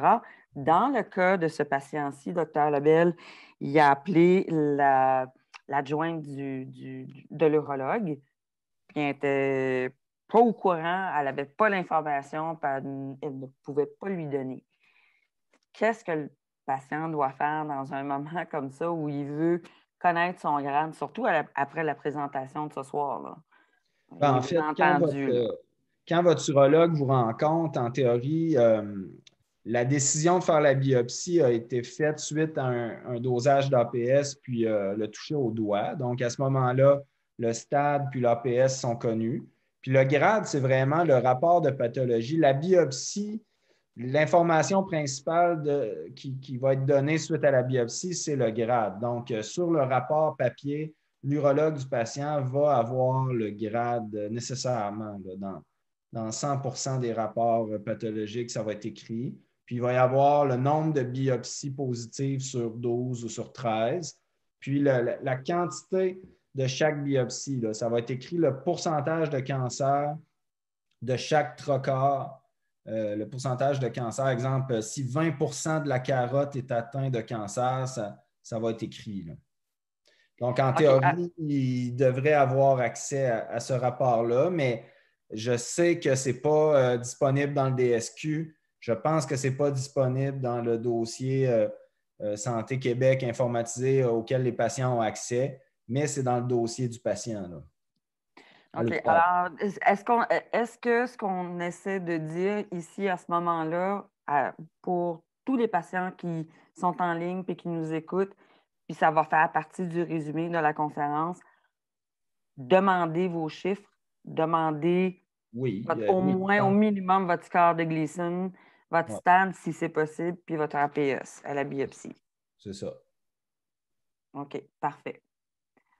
Euh, c'est sûr que le, la très grande majorité des Gleason 6 sur 10 ou des, euh, des groupes grades histologiques 1 sur 5, ben, la très grande majorité de ces cancers-là vont évoluer plus lentement.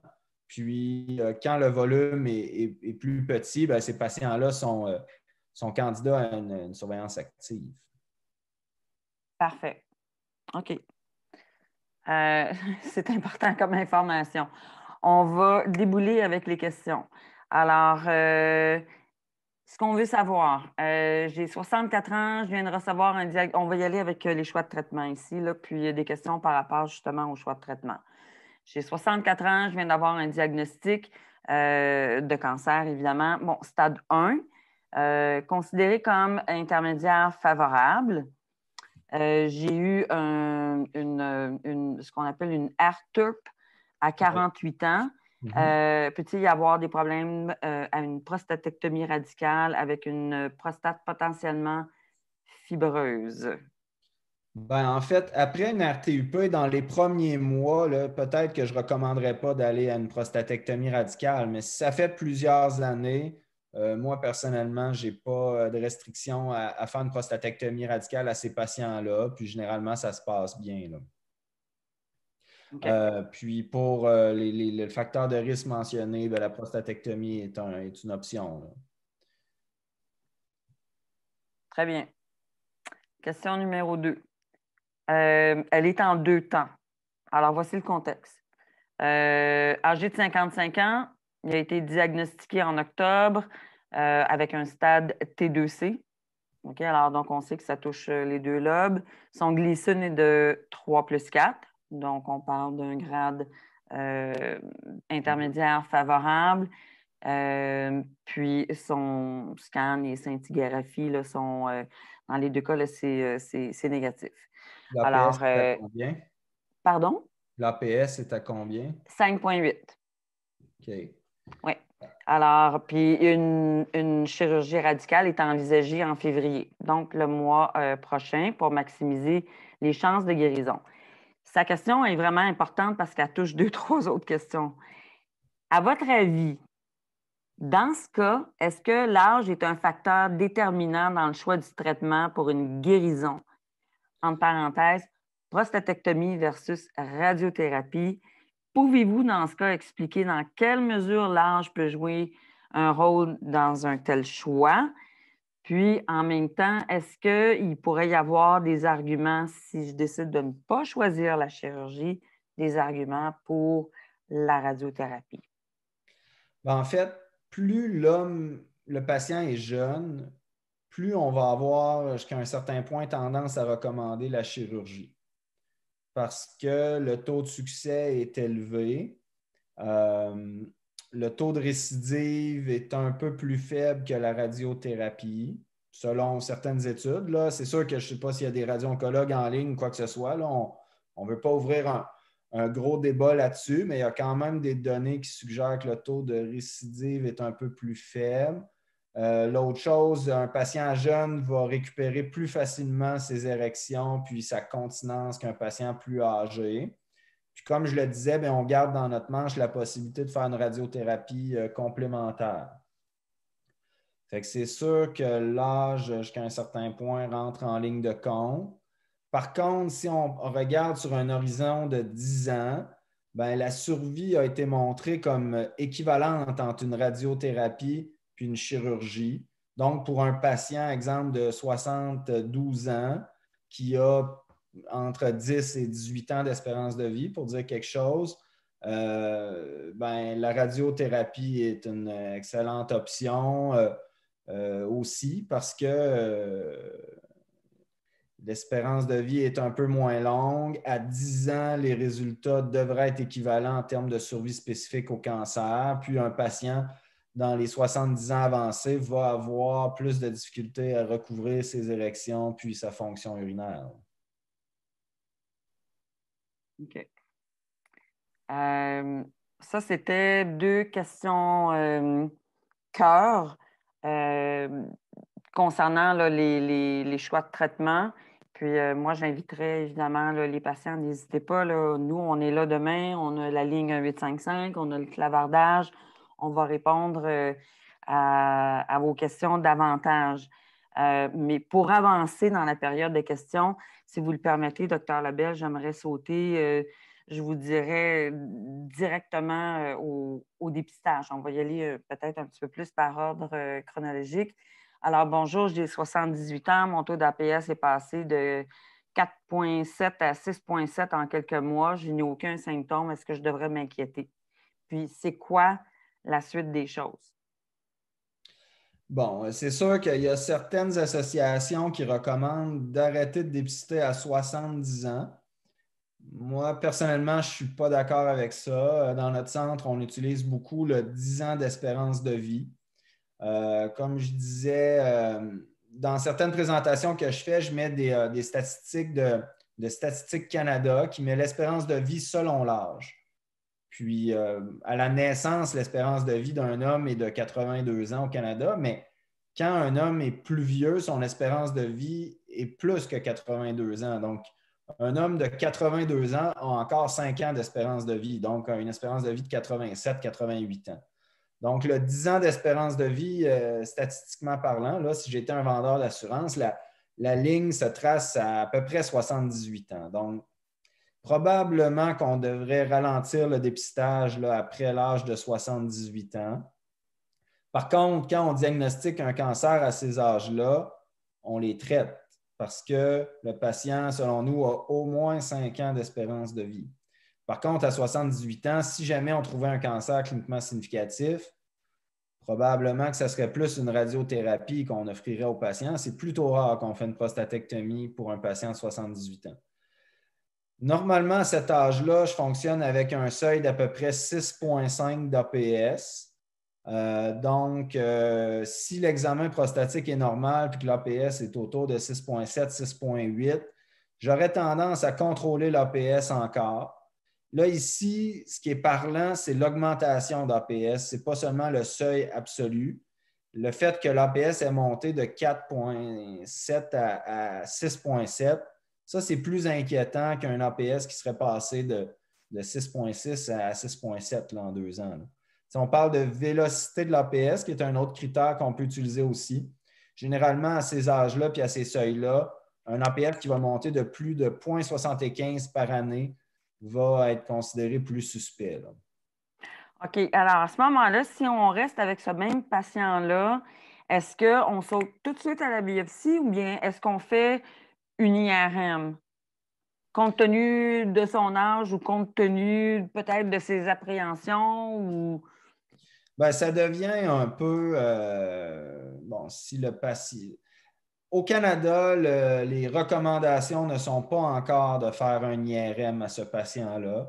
Euh, si on décide d'aller de l'avant, ce sera encore des biopsies prostatiques randomisées. Si jamais on trouve un cancer de groupe graditologique 1 sur 5, à ce moment-là, on offrirait une surveillance active. Puis là, l'IRM ferait partie de la surveillance pour être sûr de ne pas avoir manqué un cancer de groupe graditologique 2, 3, 4, 5. En Europe, ce patient-là aurait un IRM. mais en Europe, ce patient-là serait probablement pas dépisté. Parce qu'on sait que le dépistage offre surtout un avantage chez les patients qui ont plus de 10 ans d'espérance de vie. Par contre, moi, j'ai beaucoup de patients dans ma clientèle qui ont 77, 80 ans, puis qui ont l'air d'avoir 68 ans. Donc, il y a l'âge biologique aussi qui rentre en, ligne de compte. J'ai des patients de 78 ans qui ont l'air beaucoup plus jeunes que certains autres de mes patients de 71 ans. OK.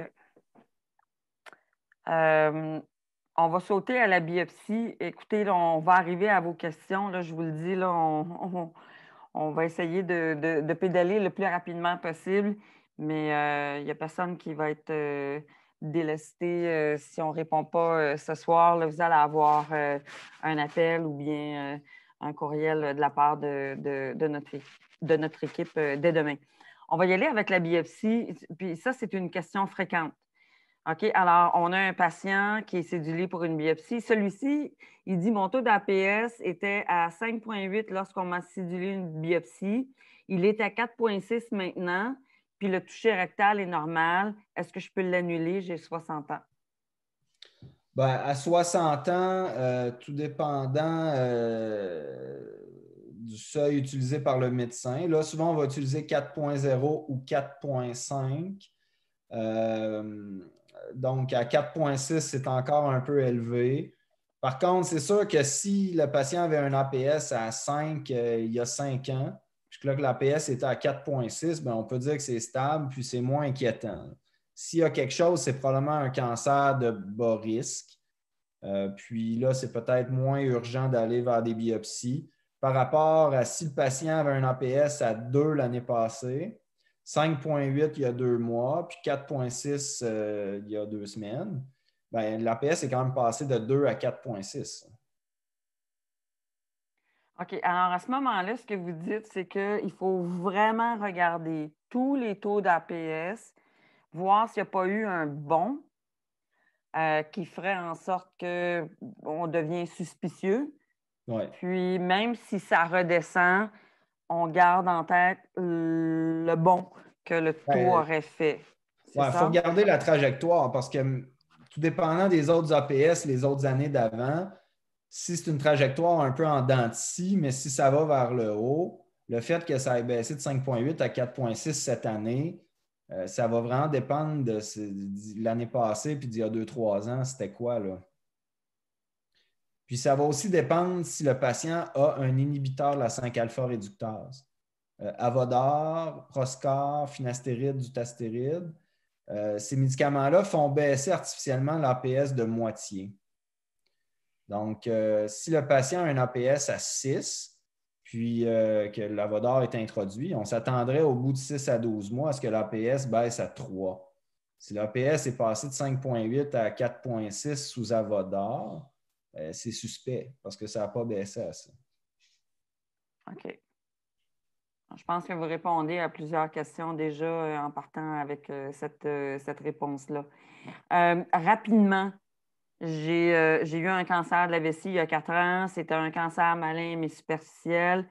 J'ai eu un diagnostic de cancer de la prostate en janvier de cette année. Est-ce qu'il y a un lien? Est-ce que le cancer de la vessie aurait pu induire un cancer de la prostate ou est-ce que c'est indépendant? Probablement qu'il n'y a pas de lien. Euh, les facteurs de risque de cancer de la vessie sont généralement l'hérédité, le tabac, l'exposition des produits industriels. Le cancer de la prostate, les facteurs de risque sont euh, héréditaires aussi, euh, la race, les habitudes de vie, euh, l'alcool, euh, pas nécessairement le tabac hein, cancer de prostate. Donc, probablement qu'il n'y a pas de lien, mais il y a peut-être des gènes qui assujettissent les patients à, plus de risques de, cancer, tout, euh, tout, organe confondu. OK. on a une bonne question ici. on sait qu'on est en temps de pandémie il y a du délestage, il peut y avoir des reports de chirurgie. Alors, on a un patient qui nous dit euh, écoutez, euh, j'ai un stade de T2C. Mhm. Donc, on sait que ça touche les deux lobes, probablement avec un toucher rectal qui est positif. j'ai un score de Gleason 3, 3 plus 4. Donc, c'est quand même ce qu'on appelle un grade intermédiaire euh, favorable. Lui, sa question, c'est vraiment de savoir euh, jusqu'à quand est-ce qu'on peut reporter euh, une, chirurgie, parce que dans son cas, c'est une chirurgie. Jusqu'à quand est-ce qu'on peut la reporter sans qu'il y ait de préjudice, sans que son cancer progresse? Oui, euh, c'est sûr que c'est un temps de pandémie. Là, on n'a pas vécu une période comme celle-là depuis la grippe espagnole. Mm. C'est sûr que c'est des circonstances un peu exceptionnelles. Généralement, on dit qu'on aurait à peu près six mois à partir du diagnostic sans qu'il y ait d'impact. Mais euh, écoutez, chaque centre a été obligé de, de, Nous, on a tout coté nos cancers selon la priorité des cas, puis on y va selon les cas les plus prioritaires, puis on a difficulté à rentrer dans nos délais, puis on est dans une région où il y a moins de cas que, dans la région de Montréal. Donc, euh, c'est sûr que je suis un peu mal à l'aise à répondre à ça, mais euh, généralement, on dit qu'on a six mois à partir du diagnostic. OK. Euh, une autre question concernant euh, la, chirurgie. ce patient-là a vu son taux d'APS augmenter. donc, en septembre 2020, il y avait un taux d'APS à 0.1, 0.12. Euh, en janvier de cette année, son APS était à 0.17. Puis il se posait de sérieuses questions à savoir si son vaccin contre l'influenza pouvait avoir un impact sur le taux d'APS. Non, moi, je ne pense pas que les vaccins aient un rôle à jouer. Là. Euh, puis je conseillerais à tous les patients qui, ont l'opportunité de se faire vacciner pour euh, la COVID de le faire. Euh, le taux de récidive après une prostatectomie radicale, généralement, ce qui est utilisé, c'est 0,20. Là, ici, à 0,17, on peut penser qu'il y a peut-être une récidive qui se prépare. Le, temps de dédoublement de l'APS va être à calculer ici. Plus l'APS monte lentement, plus euh, ça va en faveur d'une récidive locale dans le site de chirurgie. Si l'APS monte rapidement, ça va en faveur d'une récidive à distance. Si l'on pense à une récidive dans la loge prostatique, puis que le bilan d'extension est négatif, ben, à ce moment-là, normalement, à 0.20, on recommande une radiothérapie de rattrapage. OK. Euh, euh, je pense que ce qui fait peur aux, patients, souvent, quand on parle de récidive après une chirurgie, c'est peut-être l'association justement de radiothérapie puis d'hormonothérapie on est-tu obligé d'avoir l'hormonothérapie? Dans quel contexte on va l'avoir, cette hormonothérapie-là en association? Euh, ben, en fait, quand le patient a un traitement euh, à visée curative, là, quand c'est un cancer euh, de bas risque ou risque intermédiaire assez favorable, il n'y aura pas d'hormonothérapie. si c'est un risque intermédiaire, généralement, il va y avoir probablement six mois d'hormonothérapie. Si c'est un risque plus élevé, il va y avoir deux à trois ans, en tout cas 18 à 36 mois d'hormonothérapie avec sa radiothérapie. Par contre, dans un cas de récidive, après une chirurgie, si on pense que la récidive est localisée, le patient va avoir une radiothérapie de rattrapage. Puis après ça, il va avoir un suivi d'APS. Puis, si l'APS redescend à zéro, se stabilise à un niveau très bas, ben il n'y aura pas euh, d'hormonothérapie. Par euh, contre, il y a une récidive quand même malgré la chirurgie et la radiothérapie. À ce moment-là, on va attendre de voir s'il y a des métastases. Là, s'il y a des métastases, il va y avoir hormonothérapie. Ou à la rigueur, s'il y a une seule métastase, il pourrait y avoir une radiothérapie stéréotaxique sur la métastase. Mais s'il y a métastase, il va y avoir hormonothérapie.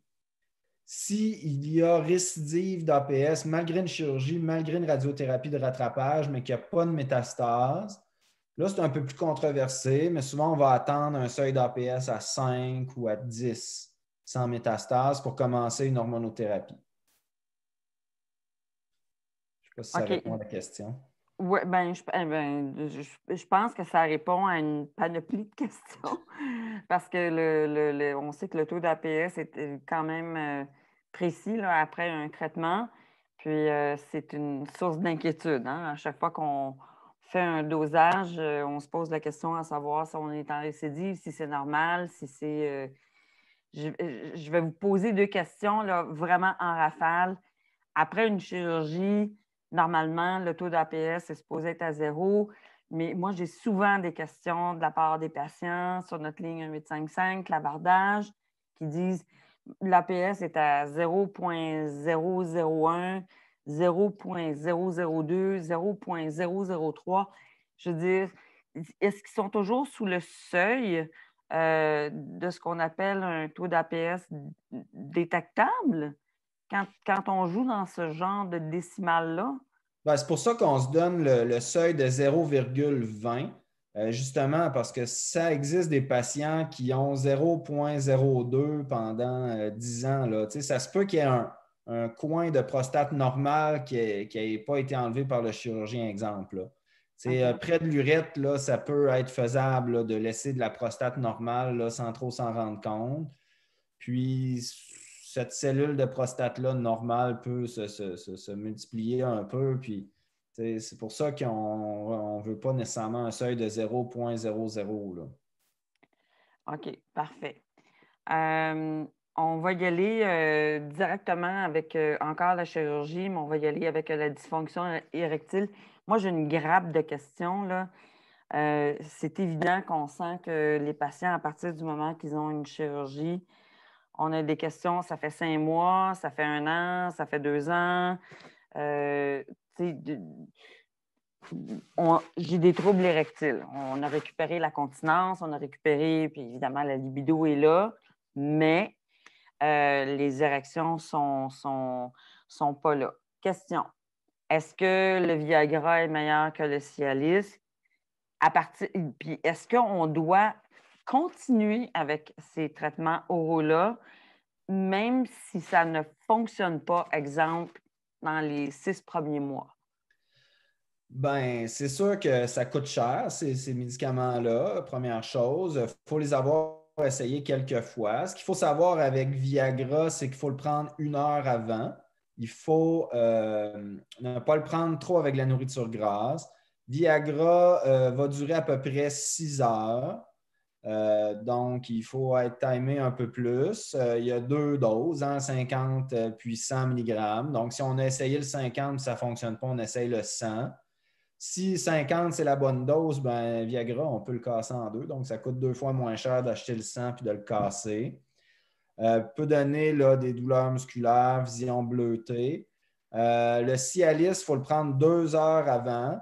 Euh, va durer 24 euh, à 36 heures. Donc, ça, ça peut être un avantage de Cialis. Là. Euh, peut être utilisé peut-être deux fois où le, timing a, moins besoin d'être précis.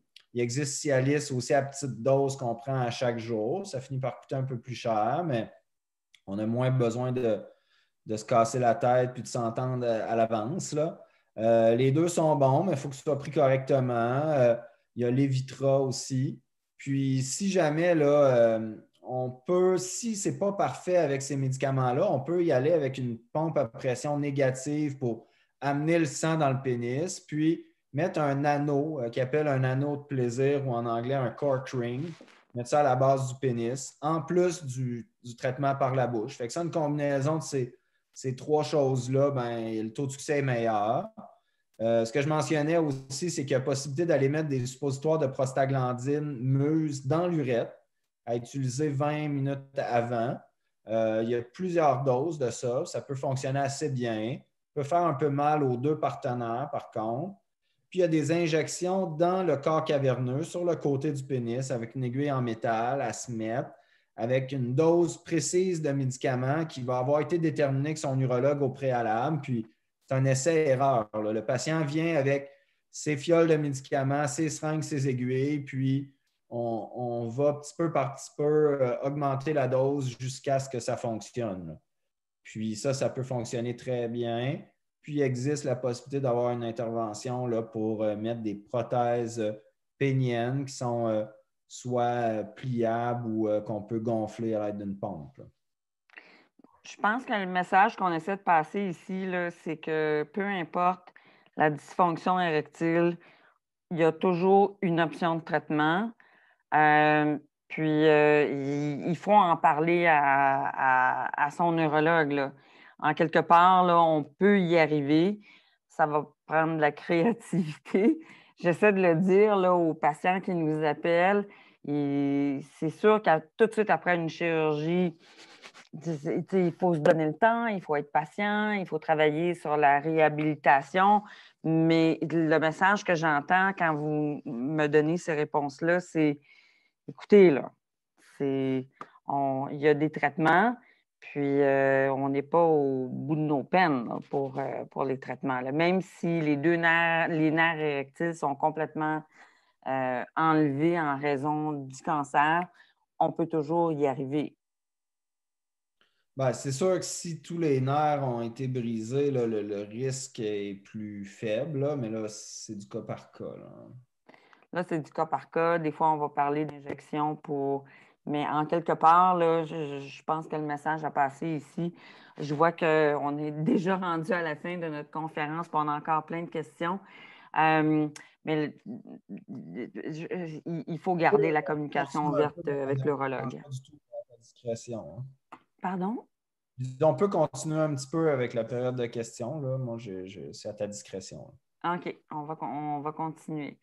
Euh, ça, c'était pour aborder euh, euh, oh, peut-être juste un dernier conseil.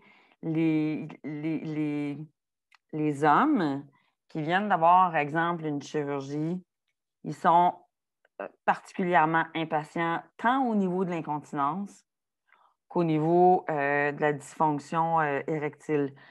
Pouvez-vous les rassurer par rapport à ça? Parce que j'en ai qui m'écrivent, qui disent Ça fait deux mois, je suis incontinent. Le jour, quand je suis couché, j'ai pas de problème. Euh, ou quand je suis assis, j'ai pas de problème. Même chose pour la dysfonction érectile. Ça fait trois mois que j'ai eu ma chirurgie je récupère ma continence, j'ai plus de dysfonction, j'ai carrément une dysfonction érectile. C'est très court en, termes de, laps de temps, peut-être. en fait, euh, c'est sûr que pour, euh, pour la continence, il faut être patient. Faut, euh, ça peut prendre plusieurs mois. Je pense que trois mois, c'est trop tôt là, pour lancer la serviette. Il faut faire les exercices de Kegel plusieurs fois par jour plusieurs des séquences d'une dizaine d'exercices prolongés, euh, trois, quatre fois par jour idéalement. Ça peut aider d'aller voir une physiothérapeute là, spécialisée en rééducation périnéale. Euh, pour ce qui est de la fonction érectile, ben, c'est d'essayer des, méthodes alternatives, puis euh, de se laisser du temps aussi. OK. on a eu une, une question importante. on sait que le IFU, est un, vous allez pouvoir l'expliquer, c'est quoi le IFU? Euh, c'est un traitement qui est disponible en Europe. Ici, ce n'est pas nécessairement un standard. Puis j'ai été un petit peu surprise d'avoir un appel euh, ce matin me disant euh, Pouvez-vous me parler du IFU, les effets secondaires du IFU, etc. Puis en fait, euh, le IFU peut être mis un peu dans la même catégorie que la cryothérapie. Euh, c'est des traitements euh, alternatifs un peu. Le cancer de la prostate, dans un bon pourcentage des cas, va être multifocal. il va y avoir une tumeur principale, mais il va y avoir d'autres lésions satellites, qu'on peut dire. puis là, le IFU et la cryothérapie sont susceptibles de manquer ces, ces cancers-là par rapport à un traitement plus global comme la prostatectomie, la radiothérapie, une radiocurie. Euh, donc, euh, ce n'est pas recommandé comme traitement de base comme les autres. Euh, c'est un peu ça que je peux dire. Par contre, chez un patient avec moins, écoutez, j'ai pas, euh, je, je, réfère pas beaucoup de patients au IFU, là, donc je pense que je vais m'arrêter là. Est-ce que, euh, docteur Lebel, le IFU, c'est un traitement qui est encore sous protocole de recherche? puis qu'il y aurait certains centres hospitaliers qui l'offriraient, mais sous le couvert d'un protocole de recherche ou? Oui, je pense qu'à McGill, à Toronto, en Europe, aux États-Unis, là, oui. Mais comme je disais, au Québec, ce n'est pas un, traitement standard comme ce qu'on a discuté ce soir. OK. Très bien. Euh, écoutez, il y a encore, euh, il y a encore on, va adresser une, dernière question, puis après ça, on va conclure. Peut-être juste pour compléter votre question tantôt, c'est normal qu'après une prostatectomie, la nuit, les gens soient au sec normalement. C'est plus en position debout ou à l'effort qu'il va y avoir des fuites. Euh, assis puis couché, ben, généralement, ça, ça va bien. C'est vraiment plus la gravité puis la, force du sphincter qui, fait qu'il va y avoir des fuites. Je ne sais pas si ça répond mieux à la Non, mais je pense que ça répond. Puis euh, je, pense que, ben, en fait, je pense pas. Il y a également une autre question. C'est que, bon, la, surprise de ces hommes-là, exemple, euh, lorsqu'ils sont debout durant le jour, ils sont assis, ils sont au sec, ils se lèvent, puis pas longtemps après la prostatectomie, ils vident complètement leur vessie. Mais quand je dis complètement, c'est complètement là. Mhm. Je pense qu'il y a une surprise à ce niveau-là. Euh, puis je, sais, peut-être qu'ils auraient besoin d'être rassurés par vous en disant que c'est normal puis que ça va durer X temps. Mais je pense qu'ils aimeraient l'entendre de votre bouche. Oui, ben en fait, le taux de le taux euh, de, renforcement puis le taux d'amélioration. 90% des hommes vont, euh, vont être beaucoup plus contents de leurs propres résultats un an après l'opération, mais ça, prend, ça peut prendre plusieurs mois. Par contre, tout dépendant de comment ça s'est passé pendant l'opération, s'il y a des artères obturatrices accessoires qui ont été clippées ou les nerfs ou si le sphincter a été brisé, ben, c'est sûr qu'il y a un faible pourcentage de cas qui vont rester avec plus de fuite. Puis là, à ce moment-là, je n'hésiterai pas à consulter peut-être pour avoir une chirurgie pour corriger ça, s'ils sont dans le, faible pourcentage de patients qui, vont rester avec des problèmes. OK, ça, je pense que c'est assez clair. Puis de toute façon, j'ai déjà écrit un article là-dessus. c'est quand euh, considérer une chirurgie. Euh, puis on va mettre les liens dans le résumé qu'on va faire euh, du webinaire. Mais en, d'autres mots, là, personne ne devrait être inquiet du fait qu'ils ont des fuites extrêmement importantes qui vident complètement leur vessie peu longtemps après leur chirurgie. Là. Ici, on parle d'un mois, deux mois. Euh, c'est trop, tôt, mais quand on s'approche de 12 mois, là, ben, il y aura peut-être des, des séquelles permanentes. Mais dans les premiers mois, il faut, persister, puis il faut, euh, faut, être persévérant. D'accord, parfait. Euh, on va, euh, si vous permettez, parce qu'il est déjà rendu 20h40, je pense qu'on va rectifier le temps pour ce genre de, webinaire-là. Ce sont des webinaires extrêmement importants. Hein. Ce ne sont pas des webinaires de 60 minutes pour un sujet très, très, très précis. Ici, là, on parle du cancer de la prostate, on parle des traitements, on parle euh, des effets secondaires, on parle des choix, puis évidemment, tout, euh, tout ce qui peut toucher. Euh, est-ce que vous me voyez?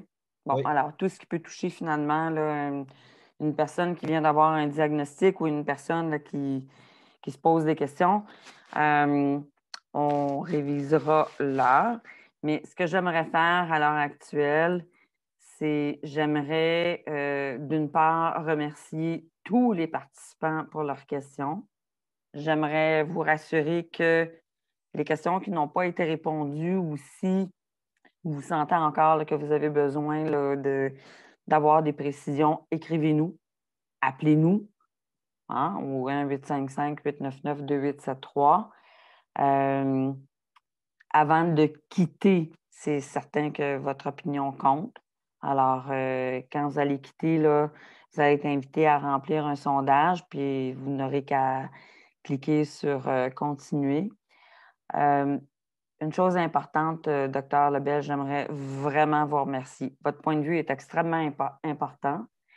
c'est le type de conférence ou de webinaire où le sujet, je vous dirais, qu'on tient à peu près deux fois par année parce qu'il y a toujours des évolutions, il y a toujours une opinion qui est différente, il y a toujours un partage d'informations. Alors, euh, ce, que vous avez, ce que vous avez amené ce soir là, comme, euh, comme, euh, comme opinion, information, puis évidemment, tous les, les, faits en tant qu'urologue sont extrêmement importants, puis c'est extrêmement apprécié. comme je le mentionnais, les questions en suspens vont être répondues par nos, infirmières. Puis, en lien un petit peu avec euh, le webinaire euh, du docteur Lebel, le prochain webinaire va avoir lieu le 24 février à 19h. Puis, on, il, sera question vraiment de comprendre votre rapport de biopsie. Alors, avec Dominique Trudel, pathologiste et chercheur au CHUM, on en a parlé un petit peu plus tôt. C'est important de comprendre votre, euh, votre rapport, au moins de savoir euh, qu'est-ce qui se passe là, en termes de type de cancer que, vous avez? Puis on va démystifier ça euh, le 24 février prochain. Alors, je vous invite à être des nôtres, évidemment. Puis, encore une fois, docteur Lebel, j'aimerais vous remercier infiniment. Il va y avoir un résumé euh, de la conférence en cinq points demain qui va vous être envoyé par euh, infolettre. Alors, euh, n'hésitez pas à cliquer là-dessus puis voir finalement c'est quoi qu'on ressort de cette conférence-là. Merci, docteur Lebel. C'était Marie-Christine pour Procure en parle chez Procure. Merci. Vous avez aimé les services de Procure? alors n'hésitez pas à contribuer à procure.ca. Merci pour votre générosité.